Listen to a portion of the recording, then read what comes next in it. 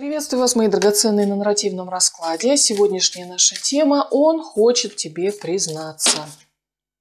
Что-то будет у нас из потока, что-то про ваши отношения с неким человеком.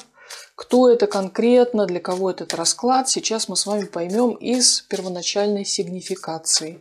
Спасибо огромное, друзья, вам за поддержку канала, за поддержку добрыми словами, за поддержку подпиской, конечно же, донатами, финансовую поддержку. Пускай все вернется многократно. Огромное вам спасибо. Итак, он хочет тебе срочно признаться. Итак, кто вы, кто он и что сейчас между вами происходит. Ну, чтобы понять, вообще ваша эта история или нет. У вас сейчас какой-то период такого невероятного, даже, может быть, в каких-то моментах страшного осознания, прозрения. На какую-то ситуацию вы посмотрели совершенно иначе. Смена ракурса, смена отношения, может быть, даже смена какой-то принципиальной позиции. Ну вот, прям буквально как солнце из-за туч вышло, с глаз упала пелена, да, и все стало ясно. Ну, поскольку мы понимаем, что все очень относительно, да, и все меняется в зависимости от контекста, от точки зрения, от того, где вы как раз сейчас находитесь, да, откуда вы смотрите. Но в любом случае это как будто бы такая смена парадигмы для вас. Вот прям вот такой вот шок даже определенный э, в том смысле, как вы теперь смотрите на ситуацию. Загадный человек. А у загадного человека как будто бы открылись новые перспективы, это человек, который даже, может быть, уже и не надеялся о том, что у него есть какие-то хорошие шансы на реализацию своих задумок. А тут вдруг у него появились и ресурсы, и возможности, и вот этот вот горизонт планирования явно как-то увеличился, да, не то чтобы человек вынужденно живет одним днем. При этом он себя чувствует, может быть, даже каким-то новичком, человеком, может быть, не до конца понимающим, что происходит, а, человеком, не обладающим до конца всей информацией, но при этом у него есть какое-то любопытство, интерес, жажда познания. Что между вами? А, между вами мезальянс, знаете, какого рода? Даже если между вами когда-то выстраивались какие-то отношения, вполне реальные физические, у вас не получалось взаимодействовать на равных. Не было паритета, не было взаимоотношений взрослый-взрослый. Там кто-то стремился доминировать, да? кто-то кого-то гиперопекал. Либо это отношения родитель-ребенок и в ту и в другую сторону. То есть как будто бы вот такое вот желание немножечко за другого человека что-то решить, э, как-то повлиять на его решение, как будто бы не было такой возможности принять человека таким, какой он есть. И вот этого общения на равных по какой-то причине не получалось. Такая первоначальная информация, если это вам что-то напоминает, давайте посмотрим. В чем же он, наконец, решил вам признаться? Этот человек, если вы его узнали по сигнификации. В чем он решил вам признаться? Ну, признаться хочет, но видите, как тяжело идет карта. Тяжело в этом признаваться. А, ему тяжело признаваться, что он чувствует себя безоружным в отношениях с вами. Он чувствует себя как будто бы маленьким, очень уязвимым, ранимым. Ему сложно вести себя как человеку ответственному, взрослому, да. То есть он а, добровольно как будто бы находится вот в таком состоянии одурманенности, грез и мечтаний.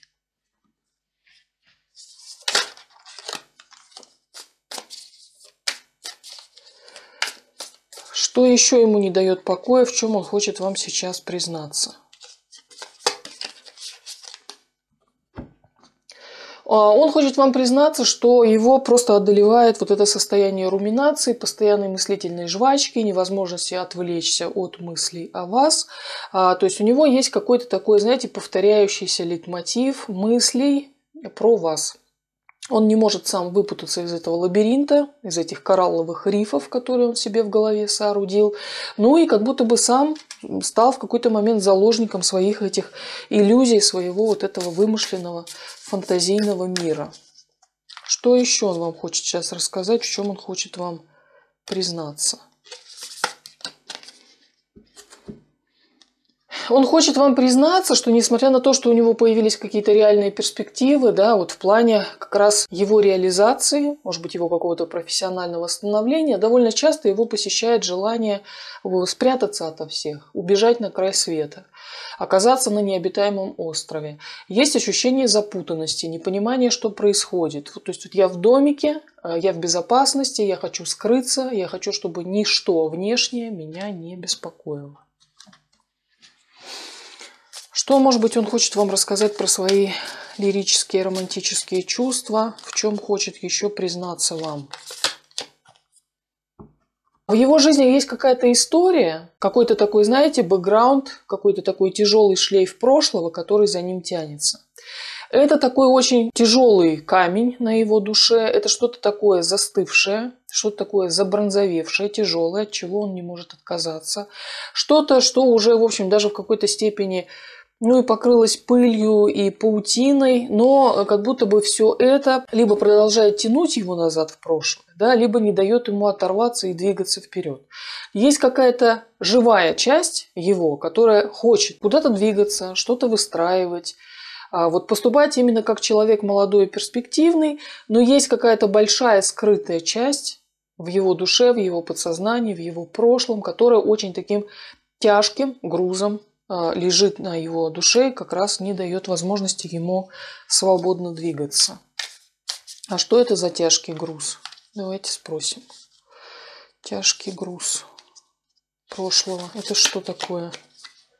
История прошлых отношений. История взаимоотношений может быть с ребенком, может быть нереализованное родительство, а какой-то неудачный опыт отцовства, возможно. Очень тяжелая рана, нанесенная человеку слабому, человеку, который от него зависел в какой-то момент. И вот сейчас как будто бы вот эти мысли гнетущие, они постоянно догоняют о том, что когда от меня кто-то зависел, кто-то во мне нуждался, я ему либо что-то не додал, либо проявил себя, может быть, не очень благородно, не проявил себя как человек достойный. То есть, с одной стороны, это вызывает и очень много нежных чувств, с другой стороны, это вызывает чувство печали.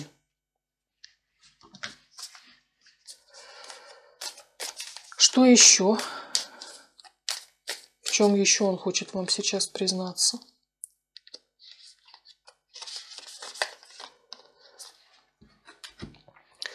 Он говорит, я уже нашел решение. То есть ключ уже вставлен в замочную скважину, осталось только повернуть, открыть и выйти. Да? То есть решение уже найдено. Но либо не хватает какой-то решимости да, для того, чтобы сделать вот это вот последнее движение, для того, чтобы ситуация каким-то образом радикально поменялась. А, либо есть какой-то страх, что там за этой дверью а, возникают какие-то новые обстоятельства, к которым я не готов. Это признание в том, что человек сейчас находится на каком-то очень важном рубеже своей жизни и находится в состоянии нерешительности. То есть осталось только одно ловкое движение. Но что-то человека останавливает от того, чтобы это движение совершить. В чем еще он хочет вам признаться сегодня?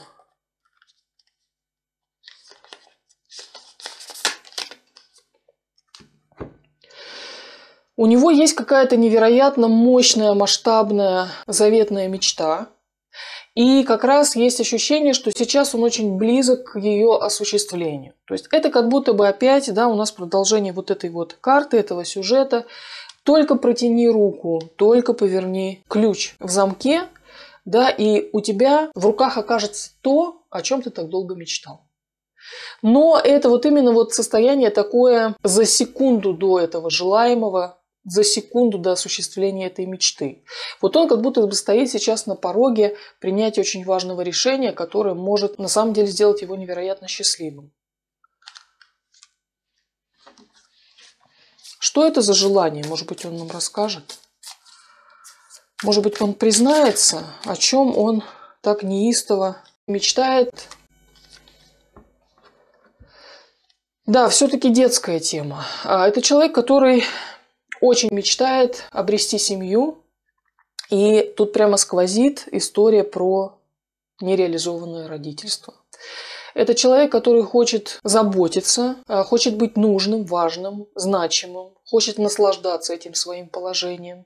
А человек дозрел до того, чтобы, э, наконец, обрести в своей жизни отношения не про сиюминутные сексуальные наслаждения, а про обретение тепла, дома, заботы, надежности, стабильности, уверенности в завтрашнем дне и огромное невыразимое желание организовать какую-то вот эту счастливую жизнь для своих близких.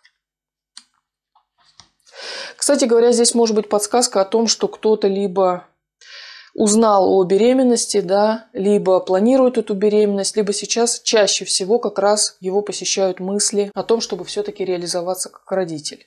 Вот эти карты, они как-то очень тут перекликаются. Ну и в чем еще он хочет вам признаться сегодня? Довольно откровенный сегодня у нас расклад. Ну и, конечно, наконец-то хочется обрести покой. Хочется обрести ощущение дома, какой-то хорошей такой заземленности, успокоенности, тихой гавани, каких-то благословенных мест. А он хочет с близким человеком выстроить какое-то такое пространство, которое будет давать ощущение внутренней опоры, поддержки, ощущение счастья, радости, гармонии. С вашего позволения, я поинтересуюсь у Вселенной высшего разума и коллективного бессознательного. Связывает ли все эти мечты загадный человек с вами? Да? Как это вообще связано с вашей персоной? Вот вы и он. Какая карта в будущем может обрисовать ваш союз? Это очень мощное, стремительное движение. Это прорыв, это покорение новых горизонтов. Это невероятные высоты. Это будущее. Поэтому все, что связано с вами, у человека совпадает именно с ощущением будущего, которое привнесет колоссальные изменения в его жизнь. Если вы в этом заинтересованы, дорогие мои, я желаю, чтобы это реализовалось в вашей жизни как можно скорее, легко и радостно, самым наилучшим образом. Да будет так. Ну что ж, мои милые, вот такой сегодня получился нарративный расклад на тему, в чем он хочет вам срочно признаться. Делитесь, пожалуйста, своими впечатлениями, с большим удовольствием все читаю. Спасибо вам огромное за лайки, за оформление подписки, за донаты, финансовую поддержку моего канала. Пускай Вселенная щедро благодарит вас в ответ. Если вам нужен личный расклад, находите меня ВКонтакте или по почте. Там я расскажу, как это можно организовать. Огромное спасибо, мои милые, что были эти несколько минут вместе со мной.